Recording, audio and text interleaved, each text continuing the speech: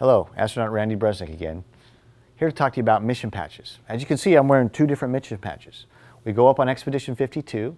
We'll be joining uh, Fyodor Yurchikhin and Jack Two-Fish Fischer.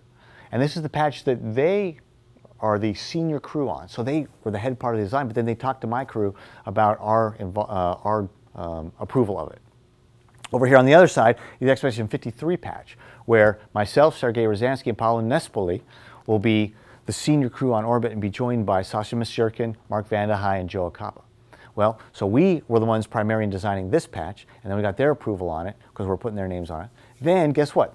Expedition 54, they're the ones that are the senior crew. They get to decide what's on their patch. And so there's this on the space station, this history of having to work with your senior crew and your junior crew, but it's also, as you can tell by the names, an international decision. So it wasn't just like shuttle where everybody was all one crew and you make it really easy. Now you got to go across countries and boundaries and make sure that everybody everybody likes the mission patch. And so it really you know, reflects the personality of the crew as well as the culture of the countries and putting elements within your mission patch that you go ahead and find appealing to you and are germane to your mission. So this is certainly something you can do in your own classroom or your own school. Design your own mission patches because you never know what that mission is going to lead you to. Thanks, comrade. We all know art is important. And NASA knows that art is important as well. In fact, they encouraged the astronauts to create their own mission patches. Ooh, we should make our own STEM in 30 mission patch. We can do that. First thing, why don't you draw a design? What, right, what shape do you want let's it? Let's go with kind of a triangle shape here. I think the first thing we should put on there is our logo. Oh, I like it.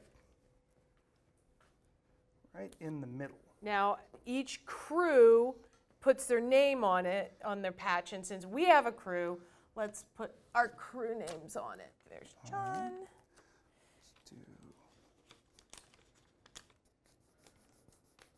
Jess.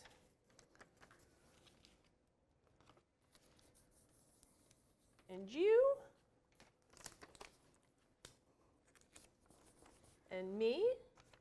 And we've done a lot of things on STEM in 30 we have covered the Wright brothers.